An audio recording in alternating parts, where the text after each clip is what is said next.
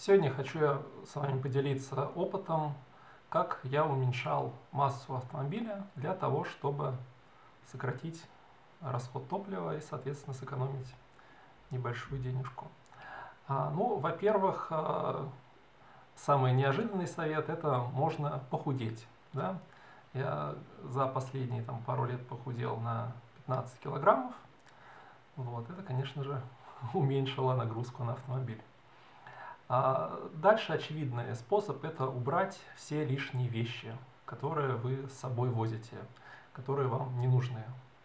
Вот, у каждого они свои, поэтому посмотрите в багажнике, в боковых карманах и их удалите. А дальше самая тяжелая вещь – это э, запаска.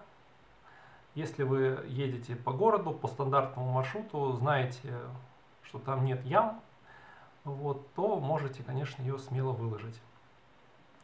А, не обязательно заправлять полный бак. Можно заправлять пол бака там, или четверть бака, если вы едете на предсказуемые маршруты э, в регулярные поездки.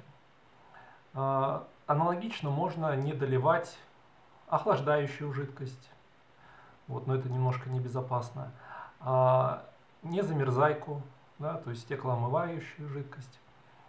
И э, также можно э, масло наливать в двигатель не обязательно до максимальной отметки, можно на средний или чуть ниже среднего. Это также избежит, а, снизит риск того, что вы немножко повредите двигатель, если вы перельете масло. А, когда придет время менять аккумулятор, а, попробуйте поставить аккумулятор меньшей массы. Вот. Не обязательно покупать самыми лучшими характеристиками аккумулятора. А, из необычных советов можно убрать, например, а, средний и задний подголовник, если у вас обычно по три пассажира сзади не ездит. Вот это самые очевидные способы.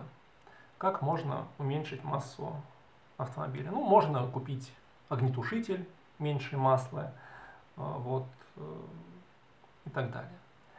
А, ну и э, не возить пассажиров, либо ездить э, на дачу, там, например, не два раза на выходных, а оставаться на ночь, как мы иногда делаем всей семьей, это тоже экономит на пробеге, да.